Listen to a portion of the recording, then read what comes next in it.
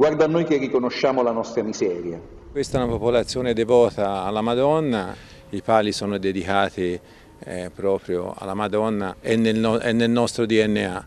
Con una funzione chiusa al pubblico e ai fedeli, al quale ha partecipato il primo cittadino, che al termine della funzione religiosa officiata dall'arcivescovo ha deciso di compiere questo rito che la città del Palio ha ripetuto nei momenti di difficoltà dal 1260 che è un po' a mezzo fra la storia e la leggenda, diciamo la battaglia di Montaperti e poi il 18 giugno del 1944 quando c'erano le truppe alle porte è stato proprio portato come oggi la, la chiave della città alla Madonna perché ci protegge. Il tutto in una domenica di sole e surreale, in una piazza del campo deserta.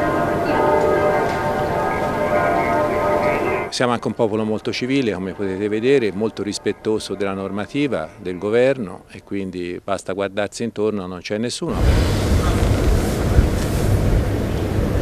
È strana, eh?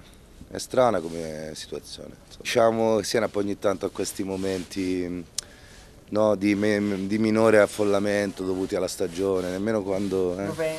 Poi di domenica specialmente fa, fa specie.